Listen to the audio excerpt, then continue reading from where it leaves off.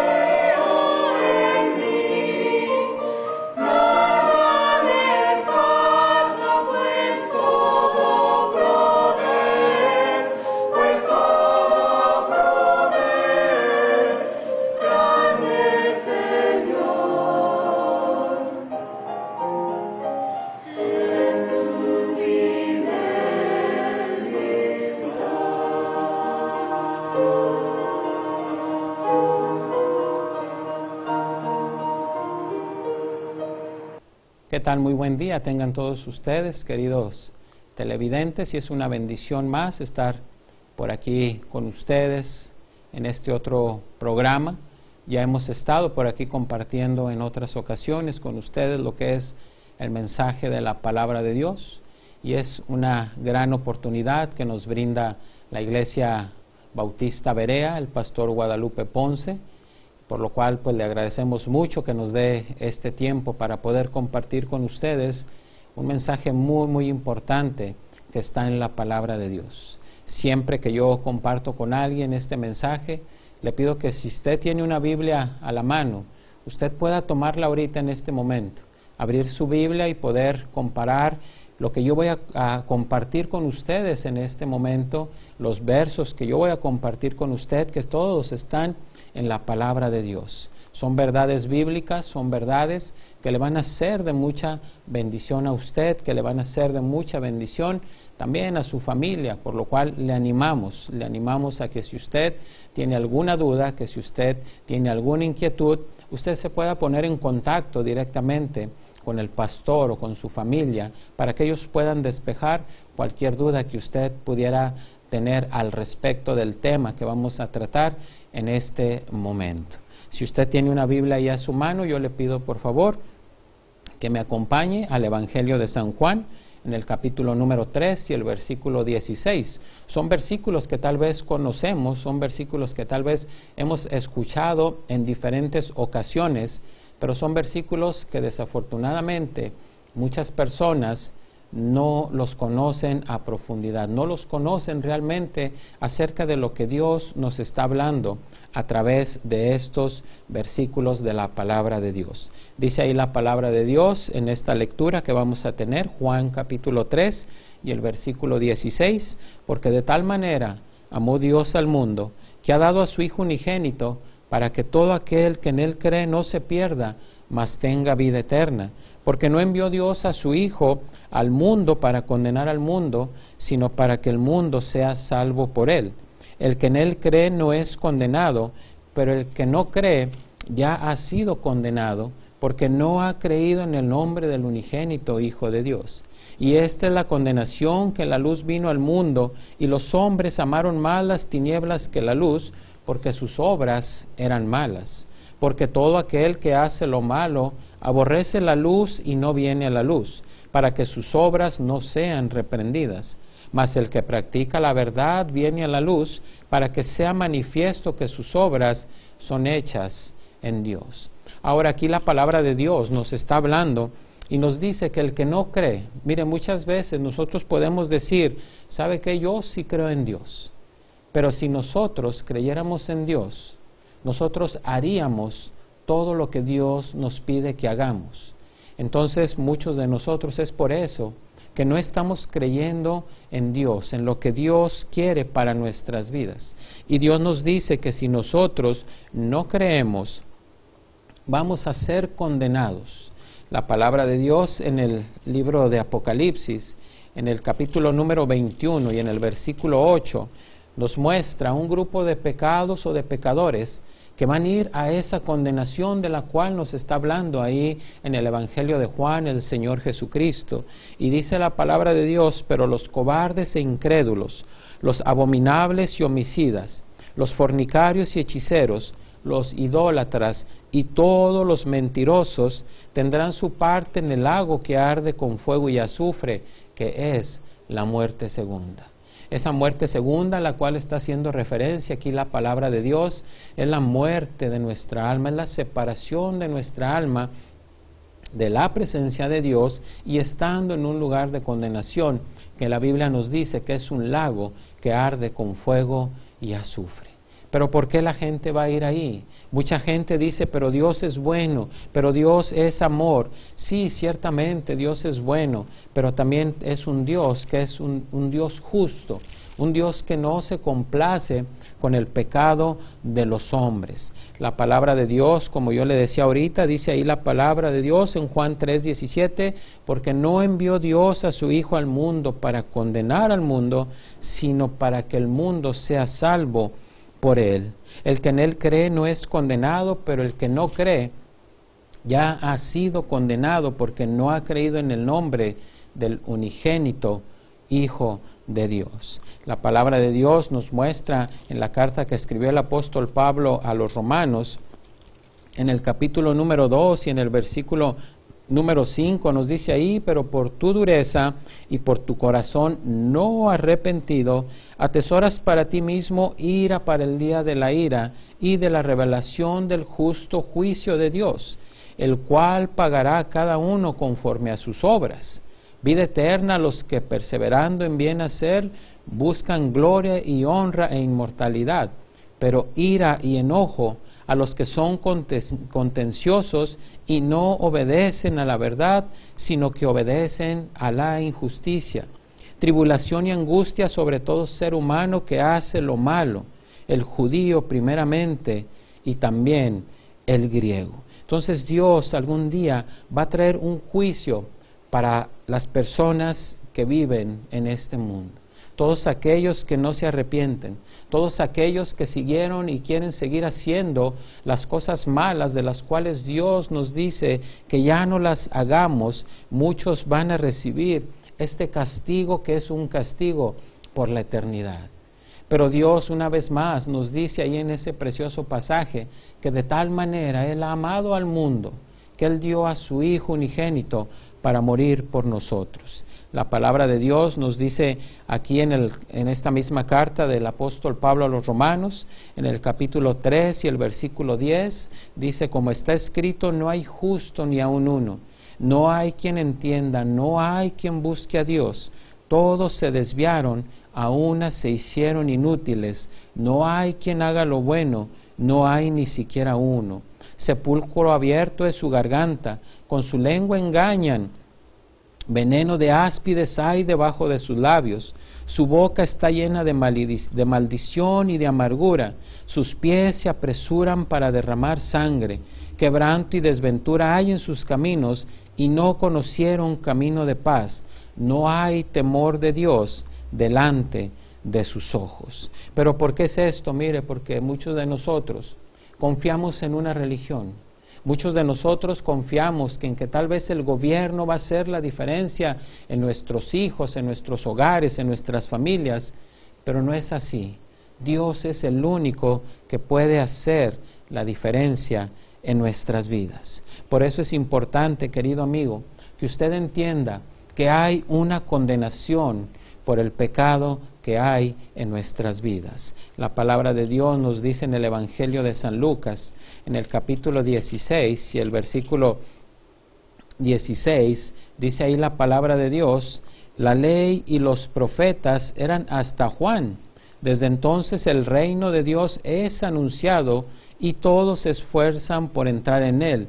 Pero más fácil es que pasen el cielo y la tierra que se frustre una tilde de la ley. Entonces Dios, querido amigo, querido eh, televidente que está ahí escuchándonos, Dios quiere que usted y yo entendamos que hay una condenación.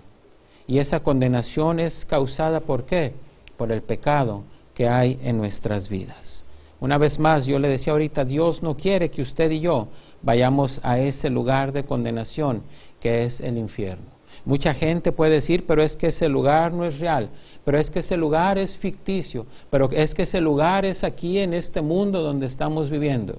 La palabra de Dios nos muestra aquí en este pasaje que estamos viendo ahorita que no es así. Y tenemos aquí una historia de un hombre rico y de un hombre pobre, de un mendigo que se llamaba Lázaro, que nos muestra aquí la palabra de Dios que estos dos hombres murieron. Y ese hombre rico, dice la Biblia, que él estando en el Hades, alzó sus ojos estando en tormentos y vio de lejos a Abraham y a Lázaro en su seno.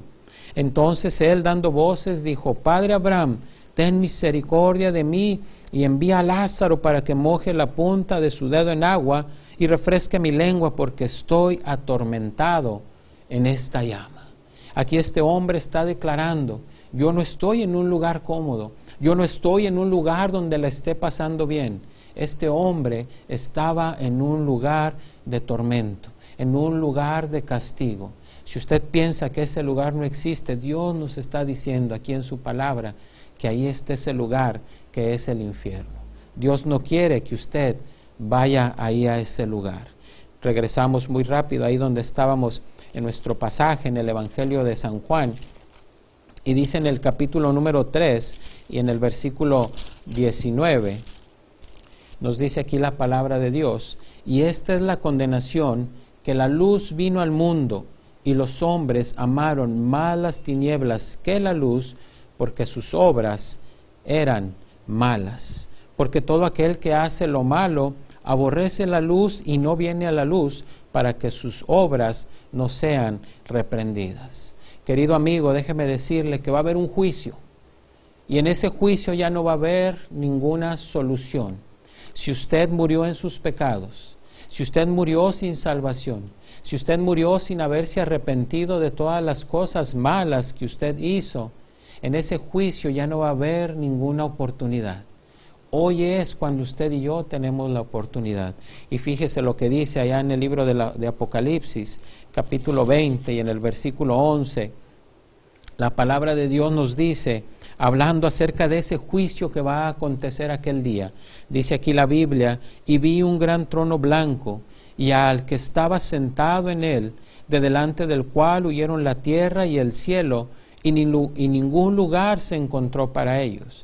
Y vi a los muertos grandes y pequeños de pie delante de Dios, y los libros fueron abiertos, y otro libro fue abierto, el cual es el libro de la vida y fueron juzgados los muertos por las cosas que estaban escritas en los libros según sus obras. Y el mar entregó los muertos que había en él, y la muerte y el Hades entregaron los muertos que había en ellos, y fueron juzgados cada uno según sus obras. Y la muerte y el Hades fueron lanzados al lago de fuego.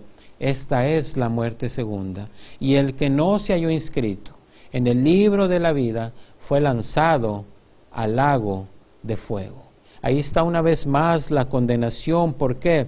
Porque nosotros hemos decidido no arrepentirnos de nuestros pecados. Y Dios es muy claro. Y Dios nos dice, mira, hay una condenación eterna, pero una vez más yo no quiero que tú vayas a ese lugar. Y muchos de ustedes que nos están escuchando y muchos de ustedes que han escuchado tal vez otros programas cuando les han hablado acerca de la salvación de sus almas y ustedes han decidido rechazar el mensaje de salvación, rechazar al Señor Jesucristo, déjeme decirle que usted está en un gran riesgo.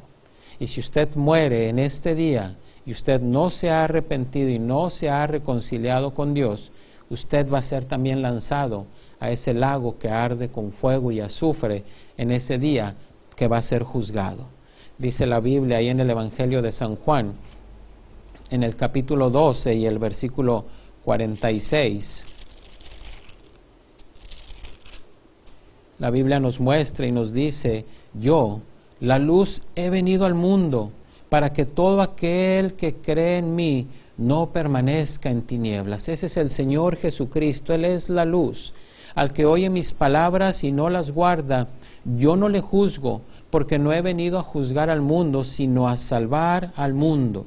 El que me rechaza y no recibe mis palabras, tiene quien le juzgue.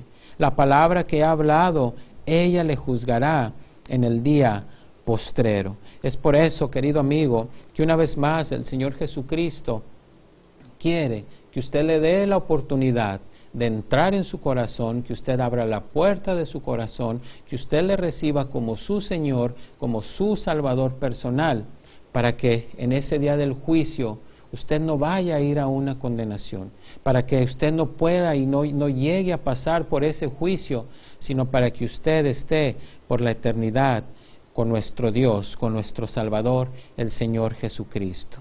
Dice la palabra de Dios aquí en el Evangelio de Juan, en el capítulo donde estábamos, capítulo 3 y el versículo 16, nos dice la Biblia, porque de tal manera amó Dios al mundo, que ha dado a su Hijo unigénito, para que todo aquel que en Él cree no se pierda, mas tenga vida eterna.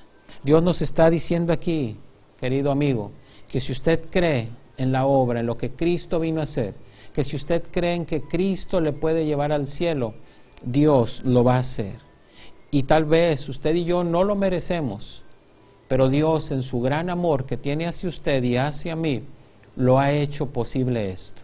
Dio a su Hijo unigénito por amor a usted y a mí.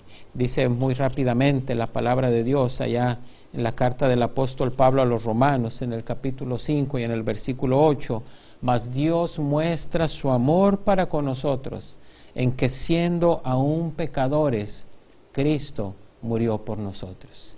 Querido amigo, usted tal vez hoy está con un camino directo a ir a una condenación, con su vida llena de pecado para ir a ese juicio y ser lanzado por la eternidad a un lugar de tormento que es el infierno.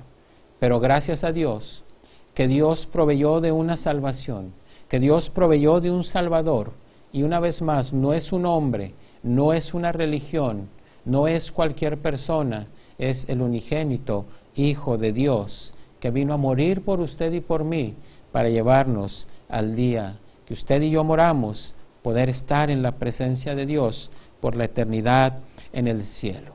Y todo esto Dios lo hizo, ¿sabe por qué? Porque Dios le ama, porque Dios no quiere que usted vaya a ese lugar de tormento por la eternidad. Dios está interesado en su alma. Dios está interesado en que su alma no vaya a ese lugar de condenación. El apóstol Pablo en otra carta que escribió, en la carta que les escribió allá a la iglesia en Éfeso, nos muestra la palabra de Dios y nos dice, pero Dios, que es rico en misericordia, por su gran amor con que nos amó, aun estando nosotros muertos en pecados, nos dio vida juntamente con Cristo y luego añade el apóstol Pablo y dice, por gracia sois salvos. Y luego más adelante nos dice, porque por gracia sois salvos por medio de la fe. Y esto no de vosotros, pues es don de Dios, no por obras, para que nadie se gloríe. La salvación que usted y yo vamos a obtener, o la salvación que usted y yo podemos obtener, no es porque hagamos cosas buenas, es porque Dios nos ama, porque Dios dio a su único Hijo a morir por usted y a morir por mí. Dios quiere que usted y yo recibamos ese regalo que Dios nos está ofreciendo. La palabra de Dios nos dice una vez más en el, la carta a los romanos, en el capítulo 6 y en el versículo número 23, dice que la paga del pecado es muerte Vamos a morir algún día sin lugar a duda. Pero después Dios nos dice, mas la dádiva de Dios es vida eterna en Cristo Jesús, Señor nuestro. Mas el regalo que Dios nos está ofreciendo, que Dios le está ofreciendo a usted, querido amigo que nos está escuchando, es el mejor regalo que podemos recibir usted y yo. Nos pueden regalar en esta vida muchas cosas, pero este regalo solamente Dios nos lo puede dar y Dios nos dice que este regalo es el regalo de la vida eterna. Ya no más en un lugar de condenación, ya no más en un lugar de tormento como vimos hace un momento, sino ahora ¿dónde? En la presencia de nuestro Dios por la eternidad, en ese lugar allá en el cielo, contemplando siempre a Dios y a nuestro Señor Jesucristo, nuestro Salvador. Dios, a usted, querido amigo, le pide que esta, este día usted se reconcilie con Dios. Ahora usted puede decir, bueno, ¿y cómo me puedo yo reconciliar con Dios? Yo no sé cómo hacerlo. Dios aquí nos dice cómo usted y yo podemos tener ese regalo de la vida eterna. Dios nos dice en la carta a los Romanos, capítulo 10, versículo 9, que si confesares con tu boca que Jesús es el Señor y creyeres en tu corazón que Dios le levantó de los muertos, será salvo. Porque con el corazón se cree para justicia, pero con la boca se confiesa para salvación. Dios aquí nos está pidiendo dos cosas. Número uno, hay que confesar con nuestra boca. Hay que pedirle con nuestra boca a Dios que Él nos lleve a su presencia. Pero lo que yo le esté pidiendo, si en mi corazón no pasa nada, esto no va a servir absolutamente. Lo que nosotros necesitamos es confesar, pero lo que yo le estoy pidiendo, creerlo en mi corazón. Dice la Biblia, porque todo aquel que invocar el nombre del Señor será salvo. Dice Dios, eso es lo que yo le pido a las personas, que se arrepientan de sus pecados, que me pidan perdón por cada uno de sus pecados, que reciban a Cristo en su corazón como su Señor, como su Salvador personal, y yo les doy el regalo de la vida eterna. Muchos de nosotros pudiéramos pensar, ¿a poco así de fácil? Para nosotros es fácil pedir y creer lo que Dios nos está pidiendo, pero para Dios no fue fácil ver cómo su Hijo moría por usted y por mí en esa cruz del Calvario. Yo le invito a que si usted decide recibir a Cristo en este día como su Señor, como su Salvador personal, haga esta oración. Las palabras no le van a salvar. Lo que va a salvar es que de todo su corazón usted crea lo que Dios nos está diciendo. Yo le invito a que usted ahí donde está en su lugar, usted cierre sus ojos y de todo su corazón le pida esto a Dios. Señor y Dios, yo reconozco que en mi vida hay pecado y que ese pecado me aparta de tu presencia y que por ese pecado yo voy a ir a una condenación, yo voy a ir a un juicio para ser lanzado a un lugar de tormento que es el infierno. Pero Dios, yo no quiero ir a ese lugar. Yo quiero que tú me lleves al cielo el día en que yo muera. Es por eso que este día yo me arrepiento de mis pecados, yo me arrepiento de todas las cosas malas que yo he hecho y yo recibo a Cristo como mi Señor y mi Salvador personal. Señor Jesucristo, entra en mi corazón y llévame al cielo el día en que yo muera. Me arrepiento de todas las cosas malas que yo he hecho.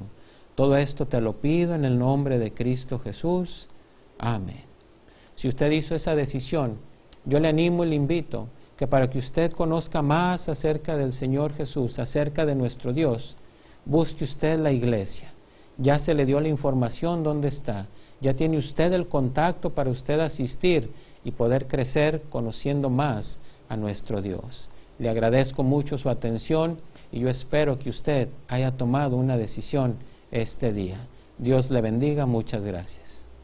Alabamos al Señor por el mensaje que acabamos de oír y quisiéramos que usted lo analice, no se le olvide y que también lo invitamos a seguir viendo nuestros programas que pasan eh, los viernes después del noticiero de las 8 de la noche y también el sábado después del noticiero de mediodía.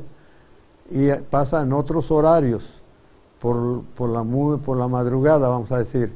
Búsquelo y, y cómo quisiéramos que usted eh, nos, nos, nos, hablara, si le parece bien, alguna cosa que no entiende, con todo gusto estamos para servirles, para aclarar cosas. Eh, quizás a veces decimos algo no muy claro, que a usted le interesa. Muy bien, eh, entonces, para concluir, quisiéramos que usted disfrutara de una pieza musical.